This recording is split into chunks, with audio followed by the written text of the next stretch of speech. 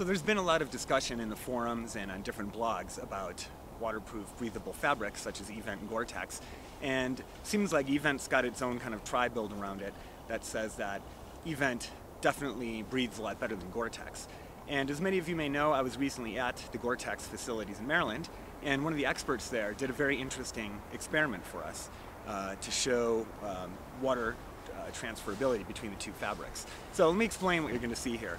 Basically, we've got two glasses of water and they each have a layer of fabric on top of them. The blue one will be the Gore-Tex fabric and then the black one will be the Event fabric.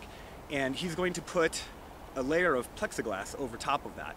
Now, the one that transfers water vapor better or faster theoretically should fog up the plexiglass faster than something that doesn't transfer the water vapor as well.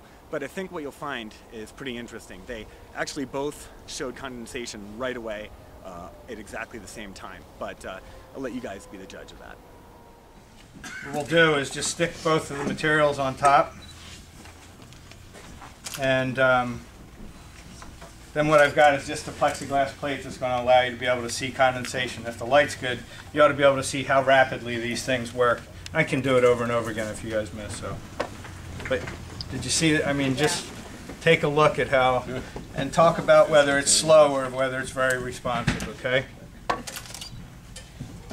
And is there twice as difference, or did you notice any real difference of how fast that moisture transfers through the material? Gore-Tex is the blue on the left, and the Event product is the one on the right. It's just the fact that you had to ask that question. The black one's a squash slower. Yeah. So It was reversed. They're both moving moisture through the material rapidly, right? That's the point. And so this, this claim of this huge 2x difference, what I pointed out on that chart before, is in low humidity conditions. But if there's a driving force, like you're inside the garment, and your body's warm, and your relative humidity is up over 70% on it, and the outside material, because it's colder out, is the shell material, can't hold as much moisture in the, in the air as warm air can.